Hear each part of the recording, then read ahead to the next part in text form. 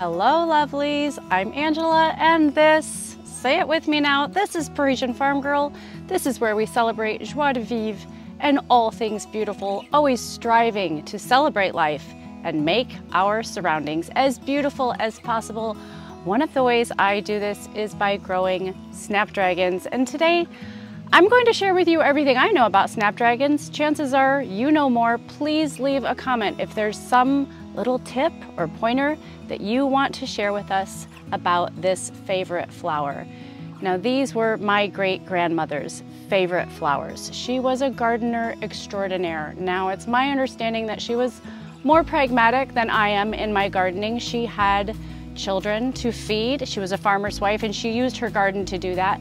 But she did grow snapdragons, so I was raised on snapdragons. In fact, as a child, I was given a bouquet of snapdragons from my mom every September and I walked to school like a good little girl and I gave them to the teacher to start off the school year on the right note. So everything I tell you today maybe will help you start off your gardening season on the right note by learning how to grow this beautiful long-lasting, vigilant, tough flower, just like you and I. This flower has grit.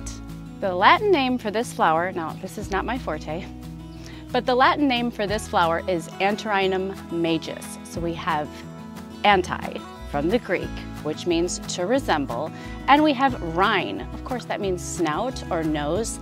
And when you look closely to every child's delight, this flower resembles the snout of a dragon and functions as such. These amazing flowers are hardy in zones 7 through 10, but here, even in zone 5B, I've got some tricks to share with you on how you can successfully overwinter yours.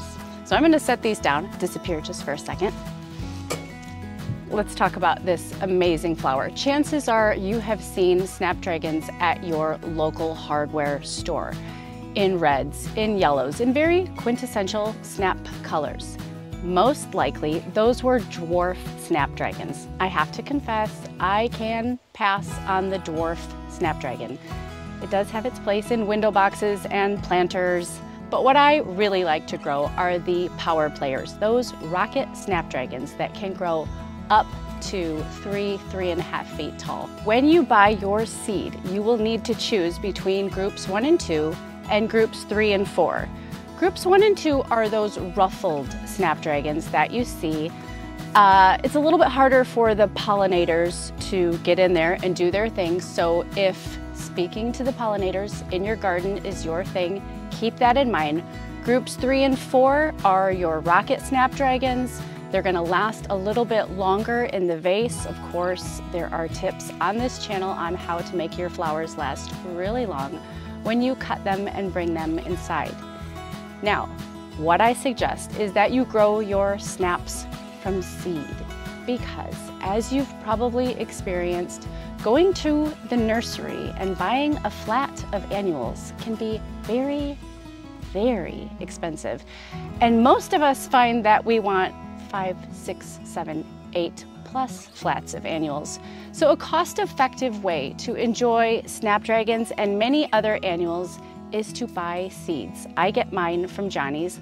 What you're looking at behind me is the back garden. I've shared very little of this because it's a garden in the making, but let's be real, what garden isn't a garden in the making? But we started this with this sort of project wraparound idea, which I think I shared with you a few weeks in this potager series.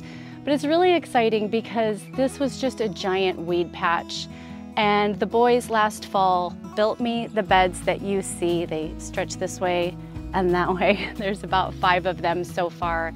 And I shared the greenhouse with you earlier this year where we have basil and tomatoes and cucumbers and peppers. This space is where I wanted to really focus on having a cutting garden. Sure, I can cut flowers from the front gardens, but I always feel that loss. I feel sort of bad, like I'm robbing Peter to pay Paul, robbing Peter to bring my flowers inside to the table. So this is a great space because I can just grow annuals en masse and I can see them out the kitchen and the living room window, which is right behind you, which is fantastic. Hopefully I've convinced you to buy seed this fall. Set it aside, put it in the cooler, keep it safe, keep it away from the mice if you're storing it in your greenhouse. And I have persuaded you to grow snapdragons from seed next year. It's very easy. Whatever planting medium you're using, you can sprinkle the seeds on top or use something like a wet toothpick or a wet tongue depressor and grab a few and set them right on top. You're not going to sink them down into the medium because this is a very, very small seed. And I think that small seeds like basil and digitalis, foxglove, snapdragon, I think sometimes that's intimidating for the newer gardener. They see those small seeds and they think they're going to just literally get lost in the mix. Most likely, you're just putting those small seeds right on top. So that's what you'll do with your snapdragon seeds. They need light to germinate. So I do get the soil, whatever medium it is, a little bit moist. Then I put the seeds right on top and put them in the sunshine. So in a sunny windowsill, once they have germinated, then you definitely want to put them under lights so they don't get leggy as they're growing. And you're doing this about eight to 10 weeks before that final frost date. Again, I'm choosing snaps sometimes from group one and two because those are the Chantilly, Madame Butterfly. They're very ruffly, they're fantastic. I'm choosing them from that group and I'm also choosing them from group three and four those are your rockets and they're gonna go long and strong. The rocket snapdragons, those quintessential basic snapdragons, they are very hardy and they're gonna bloom all summer long.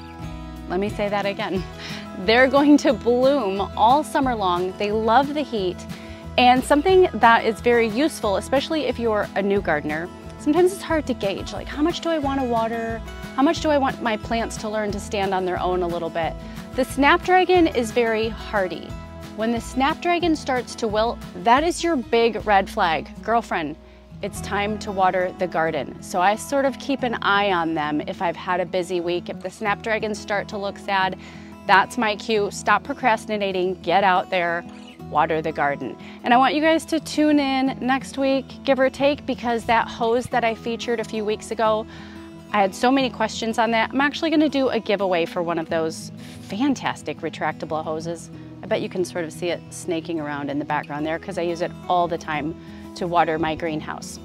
So once you harden off those seedlings in the spring, what I do is I pinch every other one back. It's really painful to do. It makes me feel terrible, but I know in doing so, I'm going to create a nice bushy plant that has lots of blooms instead of one just coming straight up.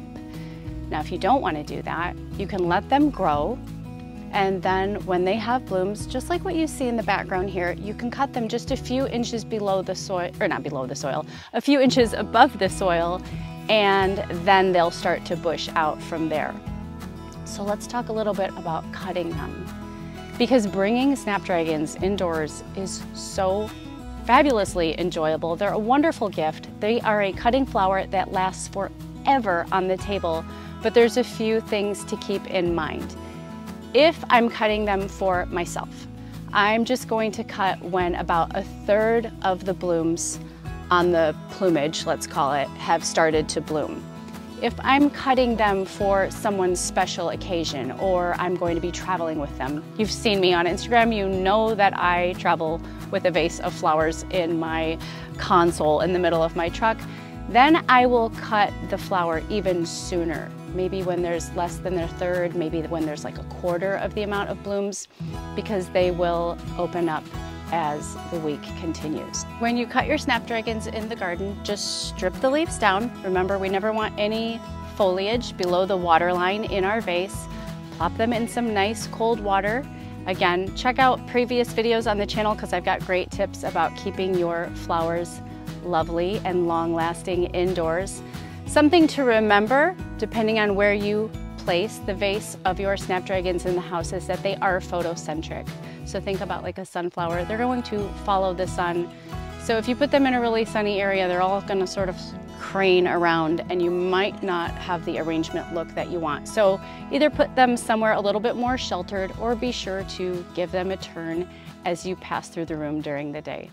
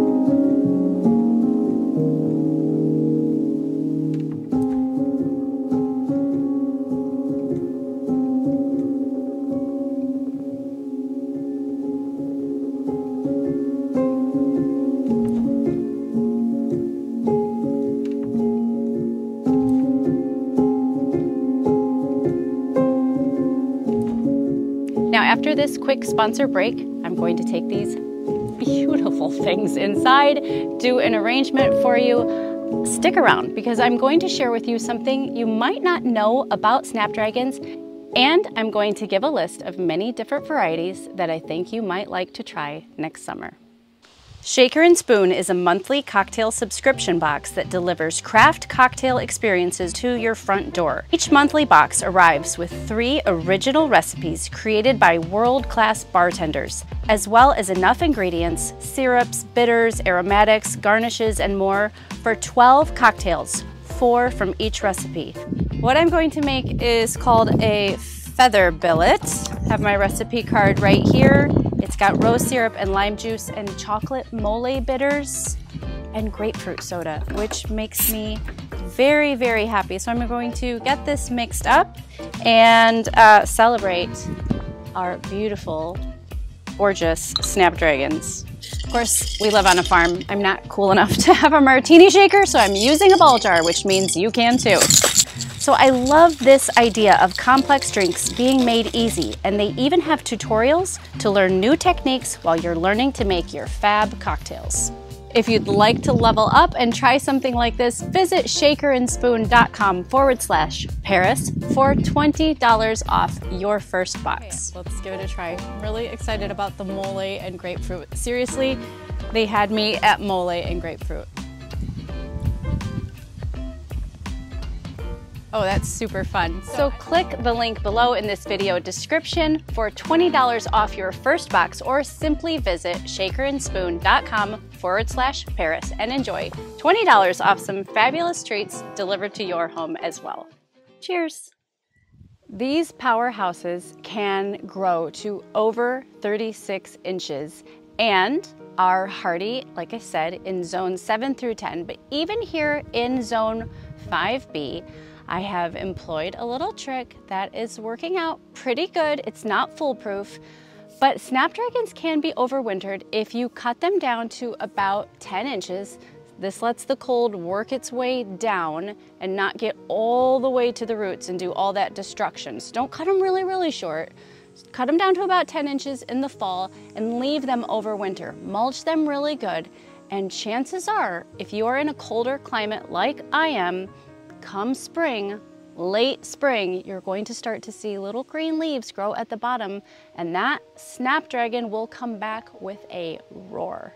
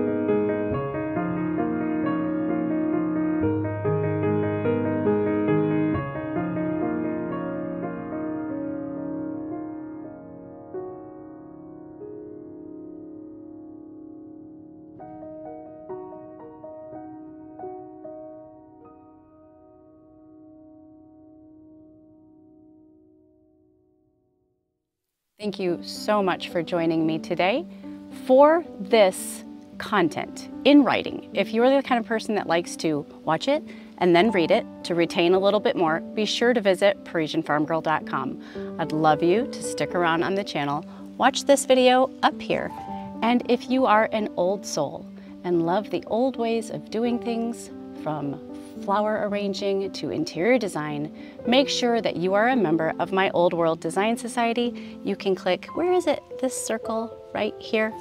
And I will see you again very soon. A.